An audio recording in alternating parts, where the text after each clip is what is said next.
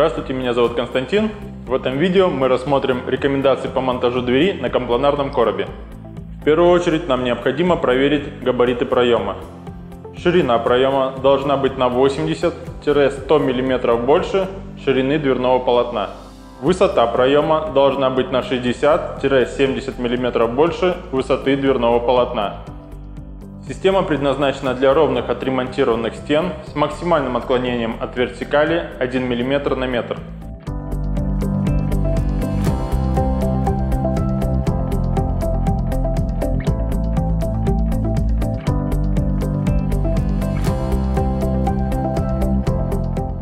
В зоне открывания не должно быть неровности напольного покрытия. Для монтажа нам потребуются следующие расходные материалы и инструмент.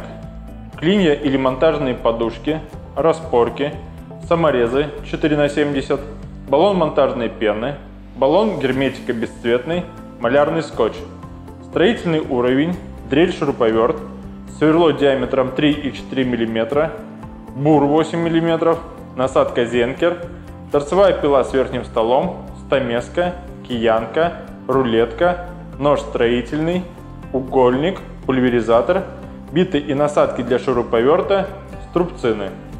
Подготовьте место для проведения работ. Накройте мебель для исключения попадания пыли. При сборке элементов конструкции на полу постелите мягкий материал без жестких абразивных включений, препятствующий образованию вмятин и царапин. После проверки готовности проема, проверки наличия всего необходимого инструмента и подготовки рабочего места Приступаем к осмотру продукции. В комплект короба входят два вертикальных элемента, один горизонтальный элемент, комплект стяжек, ёршики, инструкция. Вертикальные элементы короба необходимо опилить в следующий размер. Высота полотна плюс 43 мм. Данный размер даст зазор между напольным покрытием и полотном равный 10 мм.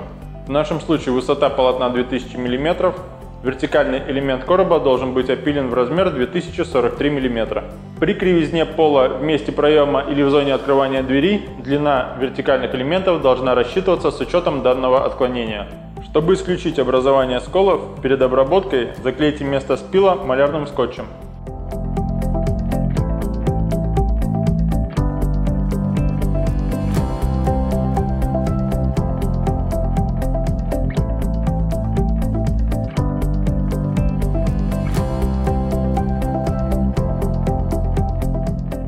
Обрезаем излишки уплотнителя при помощи строительного ножа. Аккуратно вынимаем уплотнитель с петлевой части короба.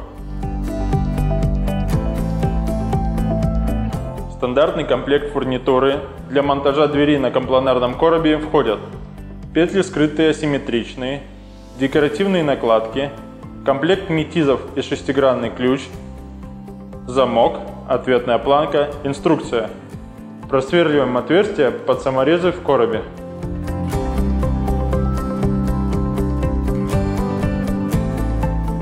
Производим сборку дверного короба.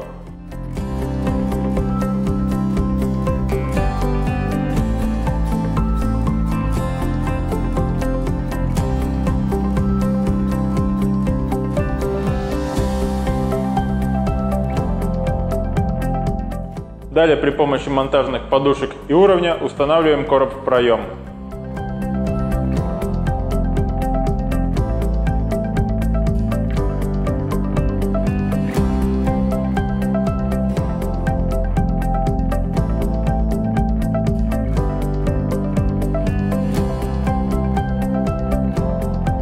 Короб устанавливается в одной плоскости со стеной.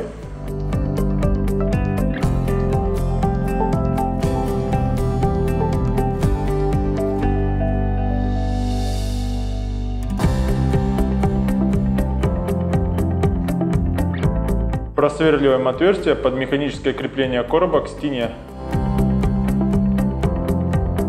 После засверливания расширьте отверстие при помощи насадки зенкера. Производим механическое крепление короба в проеме. Аккуратно распакуйте полотно. Чтобы не повредить поверхность полотна, строительный нож используйте для удаления скотча с торцов упаковки из картона.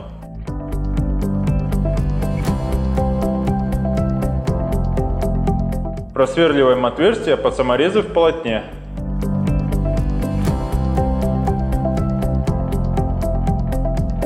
Устанавливаем петли в короб.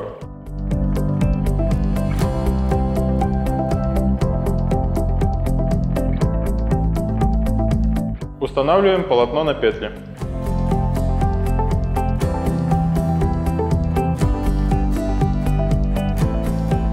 Для крепления полотна к петле используем саморезы со сферической головкой.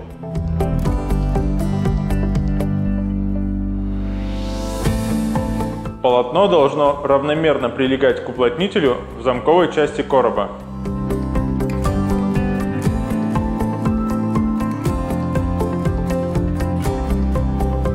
При открытом состоянии полотно не должно самопроизвольно открываться и закрываться.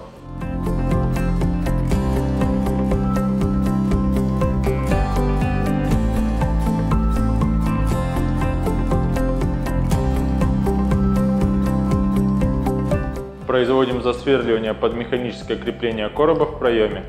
После засверливания расширьте отверстие при помощи насадки зенкера. При помощи самореза производим механическое крепление короба к проему. Зазоры по периметру полотна должны быть примерно одинаковые.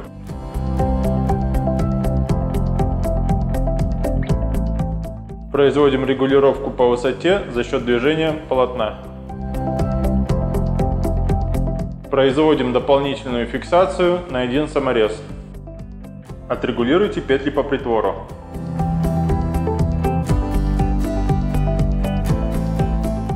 Отрегулируйте петли по прилеганию полотна к уплотнителю.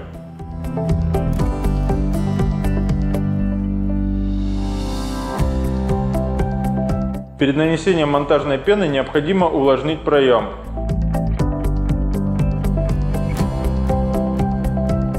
Тем, как нанести монтажную пену, ознакомьтесь с инструкцией на баллоне. Действуйте в соответствии с инструкцией.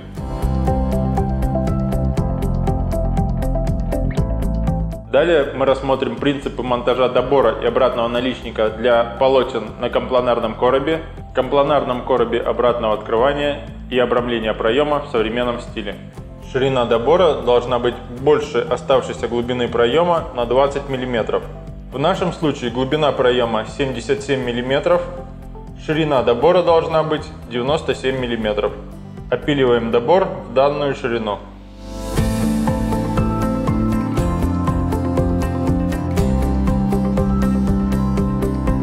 Отметьте место опила вертикального добора по нижнему пазу горизонтального короба. Горизонтальный добор опилите в размер длины паза горизонтального короба. Чтобы исключить образование сколов, перед обработкой заклейте место спила малярным скотчем. Перед нанесением монтажной пены увлажните проем.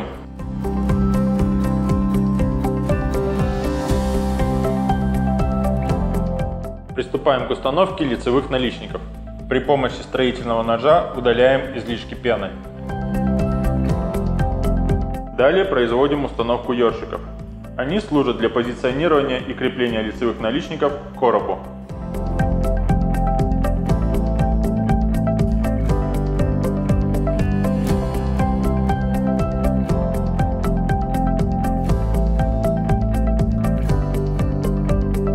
Далее подготавливаем к монтажу вертикальные лицевые наличники. Для того, чтобы отметить место опила лицевого вертикального наличника, опилите фрагмент от горизонтального наличника. Он всегда идет в плюсе по длине.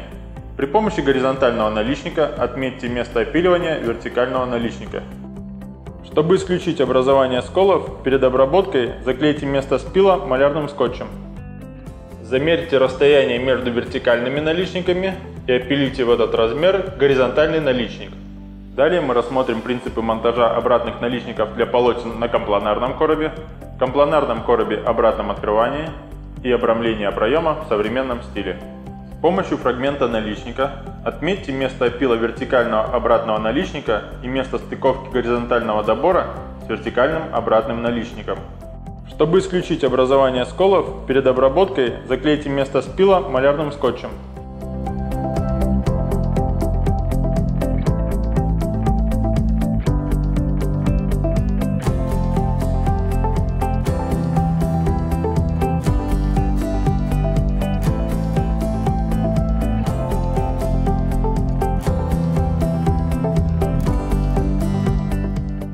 Замерьте расстояние между вертикальными обратными наличниками и опилите в этот размер горизонтальный обратный наличник. Для окончательной установки наличника нам потребуется демонтировать полотно. Для крепления лицевого наличника к поверхности стены нанесите пену в широкий паз наличника. При необходимости демонтажа наличника воспользуйтесь строительным либо канцелярским ножом.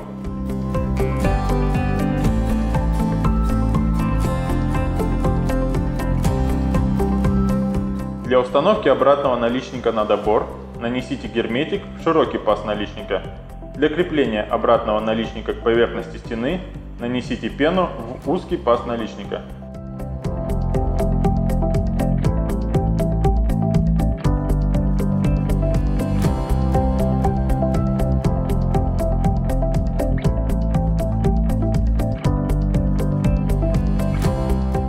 Установите струбцины, как показано на видео. После технологической выдержки и монтажной пены демонтируйте струбцины и установите полотно. При необходимости произведите дополнительную регулировку петель.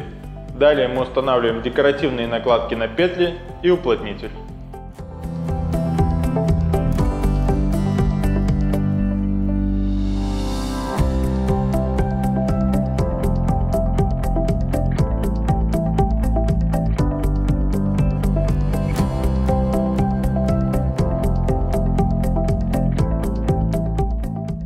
Затем устанавливаем замок. Произведем предварительное засверливание подкрепления саморезов.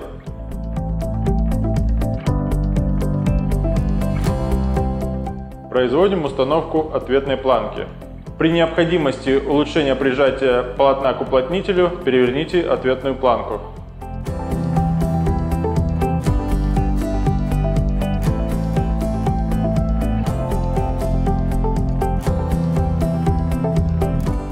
Комплект ручек входят ручки, накладки, комплект метизов с шестигранниками. Обратите внимание на последовательность установки саморезов из комплекта в ручку. Произведите предварительное засверливание подкрепления саморезов в ближайшем отверстии к кромке полотна и в отверстии под ручкой. Установите саморезы из комплекта. Произведите засверливание в отверстии за ручкой, опустив ручку вниз. Установите саморез из комплекта. Установите накладку. Поздравляем, установка завершена. Желаем приятной эксплуатации.